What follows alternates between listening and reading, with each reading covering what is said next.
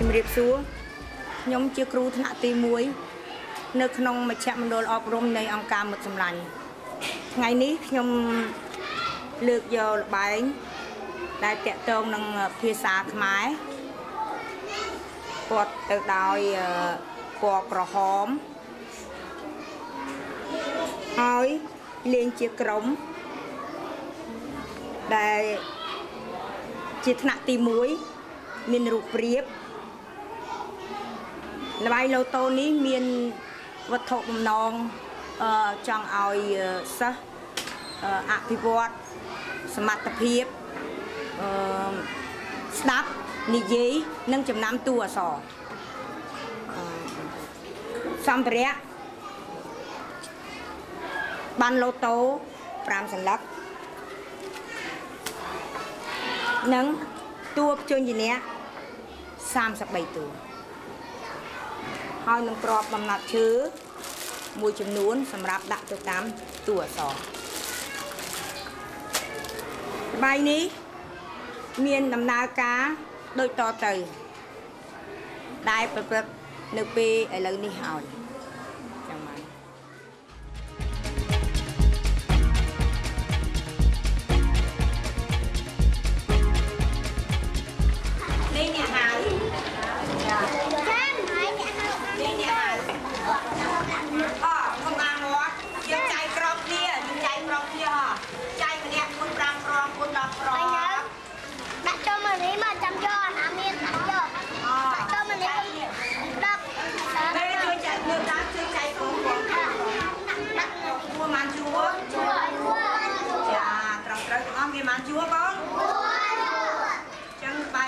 ក្ខខណ្ឌដូចតទៅបើកូនណាមានក្រកលុកឡាក់ណាហើយលើនេះនេះ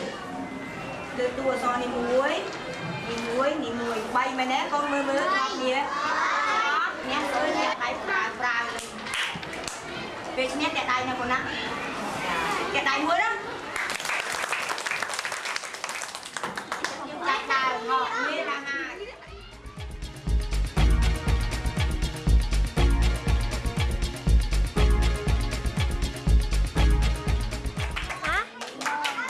ini yuk.